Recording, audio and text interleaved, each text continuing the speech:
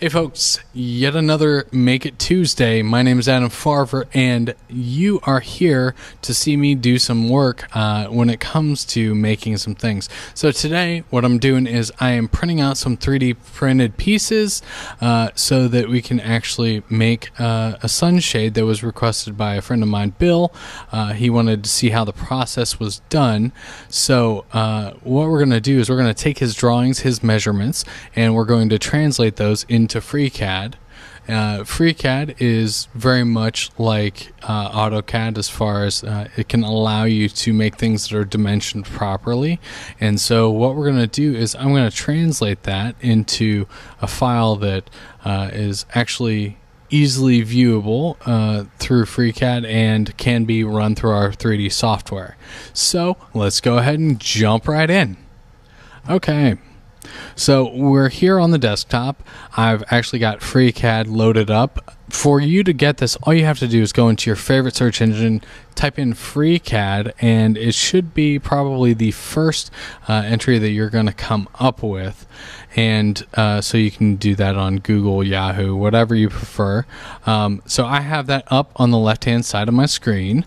As you can see here, we're working on a Mac, so uh, there shouldn't be really any major differences uh, between this. Uh, you'll see a, maybe a few, but it'll get you in the general ballpark if you follow this tutorial. All right, so on the right here, we've actually got the drawing that Bill sent to me, and we're going to go ahead and create this in a digital form uh, so that the computer can understand it. And in fact, what's happening is uh, you may hear some uh, machinery running in the background. I've already created this project more than once. Uh, I was having problems with the audio until I realized how dumb I was because I was pressing the escape key to get out of tools, which actually turn mutes the audio on and off, and I could not figure out why I was having dropouts. So now I figured it out, and I've actually turned that off so we can actually go ahead and actually make this thing and not have our audio gone. All right, so what we're going to do is because we're creating a part, uh, I usually come over here and just use the part design, and what it's going to do is it's going to do two things while it loads up. Uh, one is it does this thing where it actually creates a new document. You can find that in your combo view in models, uh, and obviously it's called unnamed. The second thing it does is it moves us into the part design. Uh, workspace. So we started on start and now it's just moved us over to the part design. What all of these different workspaces are is uh, depending on what you're trying to do, whether it's uh, making drafts or uh, drawings, any sorts of stuff like that, we are actually going to have specific tools in each one of those. You can, even, but you can use the complete one, and then you just have just buttons everywhere. Why would you want to do that? All right, so what we're going to do is we're going to start on our part design, and uh, part design, at least for us in this project, we're going to go ahead and take a look and see. Okay, here's what we got going on. We've got our our um, little profile here. And what we're going to do is we're going to take that and we're just going to extrude that out. So we're just going to pull that out from just this shape here. So let's go ahead and uh, to do that, we have to start by making a sketch. So we'll click on sketch brings up the dialog that will ask us which way do we want to orient this. So let's just go ahead and call this over here the front. So uh, to get here, we just click on XZ and we will go ahead and get that going. So go ahead and click OK. So now we have something that should look very familiar to you. It should look like some graph paper. And so uh, what we can do is we can take all these things and drop them off here. So uh, since everything over here is all straight lines, this should be a relatively quick and easy thing to do. So what we're going to do is we're going to start making lines one of two ways. Uh, we can use either the line tool, which will give you a single line, or you can use a multi-line tool.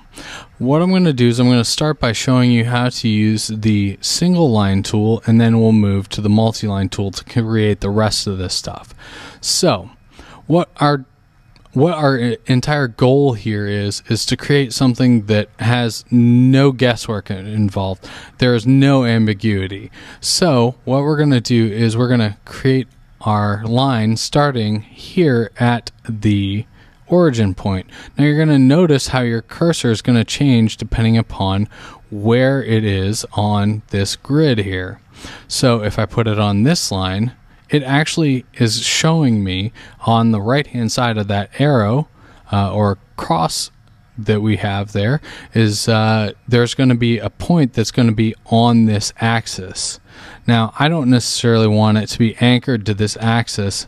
What I want to do is I want to anchor it to this center point or origin point, and you'll know that you've selected that by when you put your cursor over top it will have a dot on the right hand side. So that just means that these two points are uh, coincident or they exist in the exact same space. So let's go ahead and click once. So there's our first point for our line. And points have two, or lines have two points. So we're going to drag this up. And once again, we're going to look and see that we have our. Uh, our cursor has changed so that we can have a vertical line or we can have our dot on a curve, just like we were talking about before, which uh, says that we have this point on our line. But we're going to just go ahead and click it because we want to make sure also that it has this vertical line here, which should mean that it's going to be a vertical line in as we look at this um, at, at this shape here from this angle. All right, so we got that going on. Now we've got our first line down. What we need to do, and this is our little constraint here, telling it that it is vertical to our view. So what we need to do is we need to start adding some dimensions to this. So to do that, we want to go ahead and click, uh, actually tap on the escape key and it will jump us back to our uh, just regular pointer. And I want to choose this line here. So you'll see how that's yellow. Let's go ahead and actually make that a dimension. So we want a vertical dimension because this line is going up and down on our, our screen here. So now let's go ahead and make that a length. So we get our nice little dialog box we want this length to be 26 millimeters. So let's just type in, uh, make sure we're on the box and 26 millimeters. So uh, I find that it's a little bit easier to work in millimeters personally, but uh, you can also, if you need to, work in uh, inches and feet and all that fun stuff, depending upon when you want to uh, do all this stuff. All right, so I'm going to switch over to the multi-line tool and sketch out the rest of this here. And uh, notice how my cursor changes. And uh, I want to be seeing these vertical and horizontal constraints on the end of my cursor here. So let's go ahead and jump into our multi-line tool and bang this out.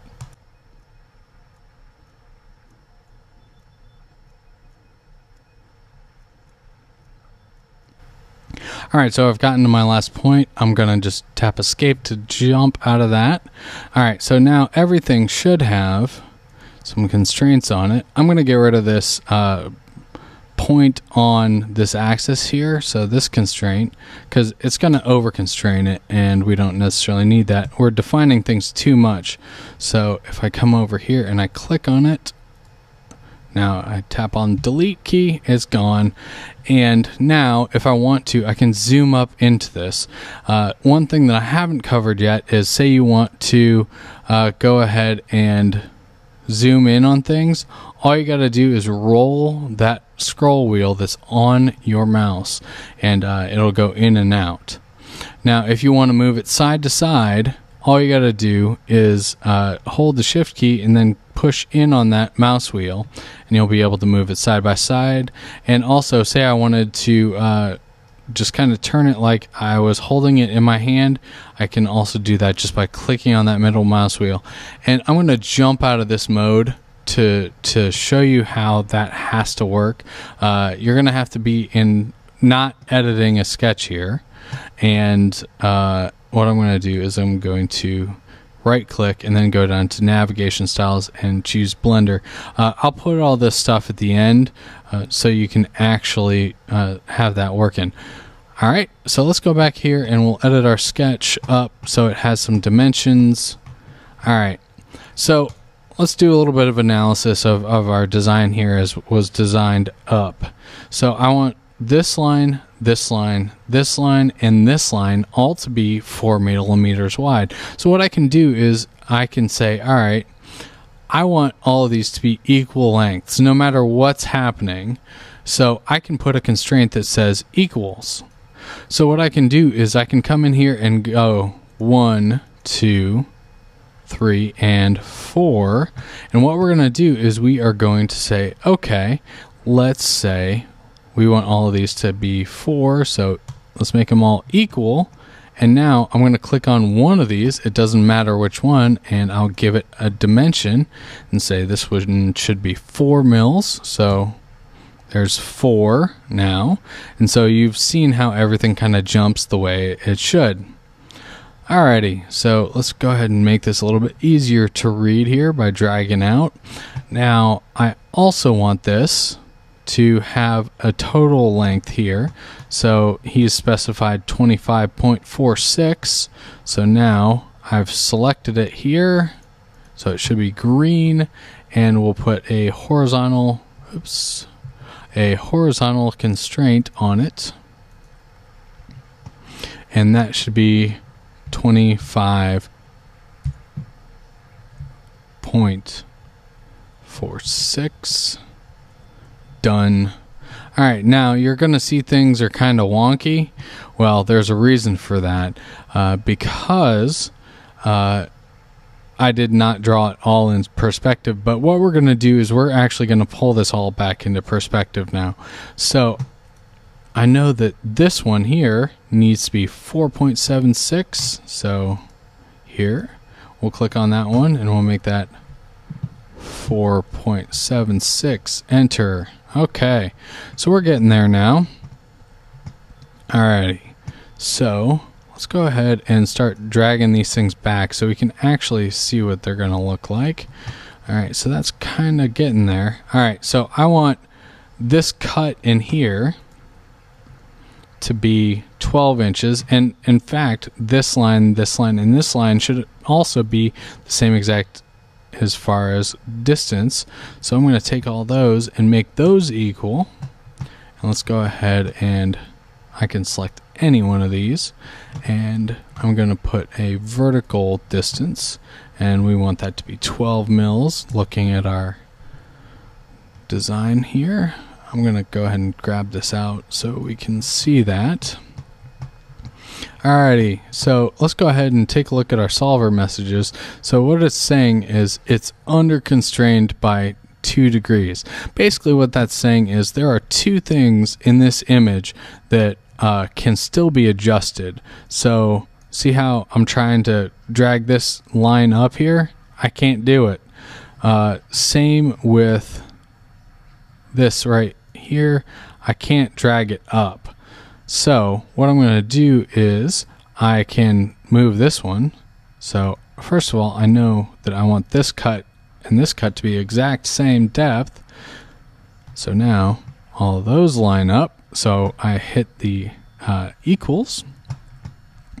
And now let's go ahead and make this one and we can say that that cut should be 12.7 mils.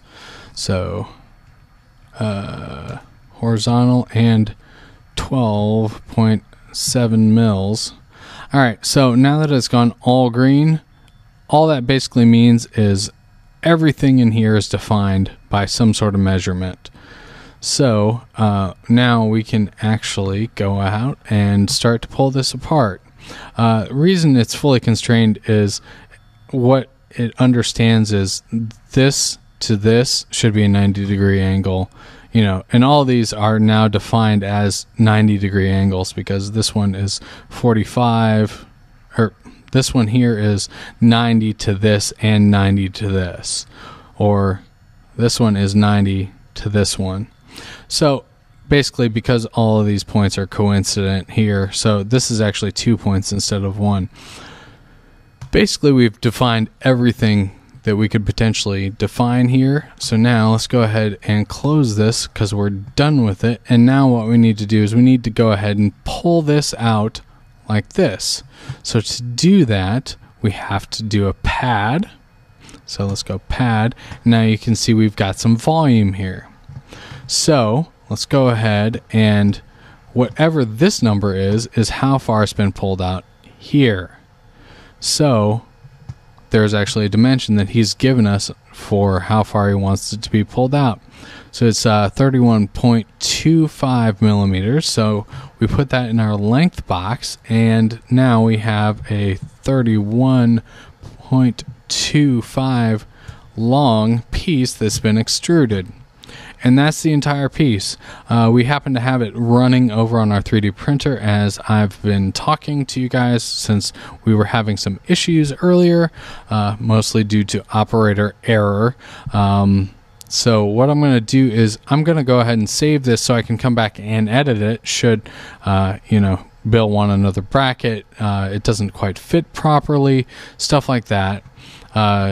And so let's go ahead and go to File, Save As, and we're going to save this as iPad Sunshade. All right.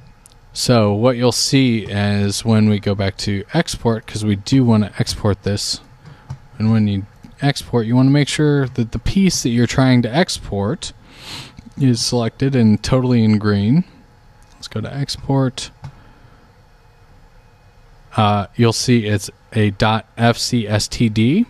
That is the native format for uh, FreeCAD. And so what we're going to do is because I know that we need a uh, STL mesh for our printer, what I'm going to do is I'm going to go ahead and select STL from this thing here, this list, and what we'll do is we'll just call it the exact same thing.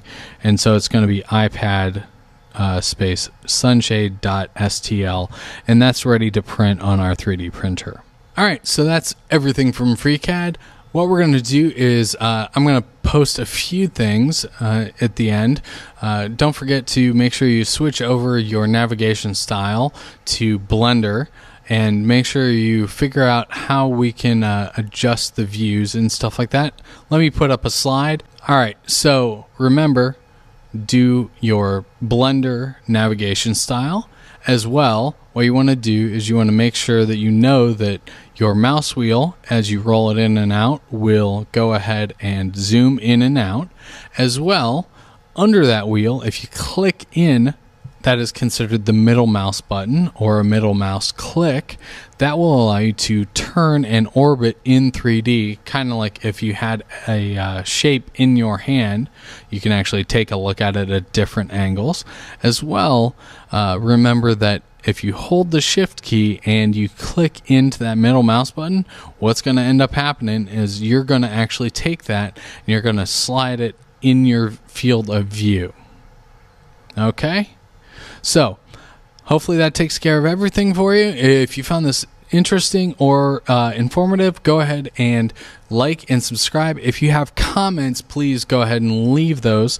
Uh, and hopefully, we'll see you guys next time on the next Make It Tuesday. We'll talk to you later. Bye bye.